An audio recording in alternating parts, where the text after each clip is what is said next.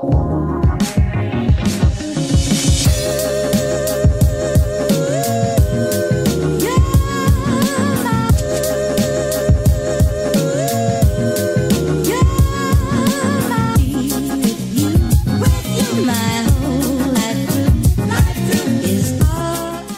we see Aspray going forward is myself and Sam, um, directors at the top. We want to be concentrating more on the marketing, the advertisement, the networking, and then below us, we would like to have two vans out on the road and two guys in a van, one being a skilled multi-trade and one being um, college graduate, anything like that that's in multi-trade skills that wants to come through can come into the business for a few years decide whether they want to stay with us or um, help on the um, stripping out and learning new skills sort of thing.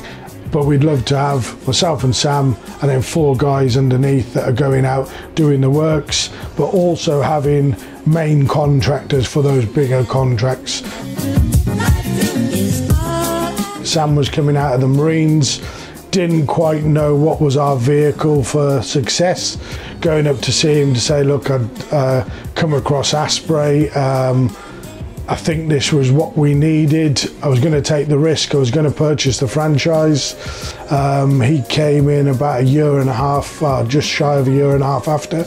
Needed the support, needed someone to share the business with. Um, he uh, gave him 50% ownership, so it's being able to spread that workload and build something as a family together. Okay, so yeah, uh, business moved on very much uh, from day one.